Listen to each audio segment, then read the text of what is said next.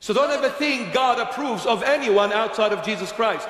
Now, this is not discrimination. This is not being, you know, judgmental. This is the truth. You bring me one human being that lived anywhere near Jesus Christ of Nazareth lived. Impossible. You bring me, whoever you want to bring. Come on, let's go.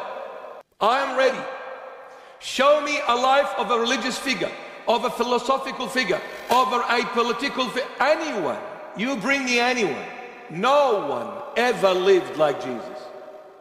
The holiness, the purity, the perfection, the excellence, the glory of Jesus Christ. No one. And we've said this before, and I'll say it again.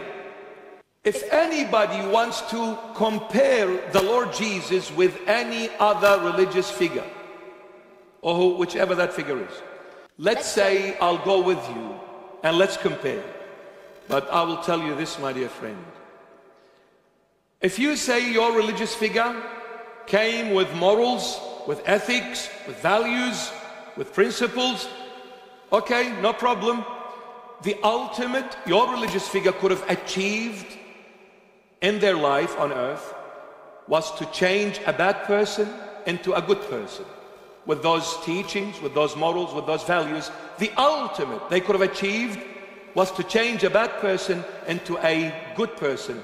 Jesus Christ of Nazareth, all glory to his holy name, he did not come to change a bad person into a good one.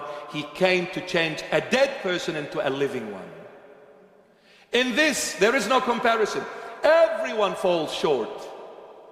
Jesus stands alone, so unique, so highly exalted and elevated beyond every religious figure and every human being. He is the only one that said, if you believe in my word, even if you die, you will live. But if you take my body and drink my blood, you will live in me forever. Jesus promised life and eternal one too. No one ever dared to promise humanity eternal life except Jesus Christ of Nazareth. So, in this alone should raise a humongous question mark to you, my dear friend. You need to find out more about Jesus Christ why is he so unique? Why is he so special? Why, why, why?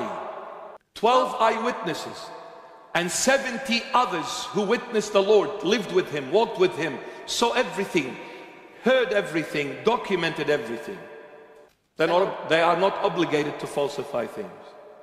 In fact, they died for what they wrote, and they died for what they believed in, and never blinked their eyes twice even when the sword was placed on their necks, they never denied Jesus Christ of Nazareth.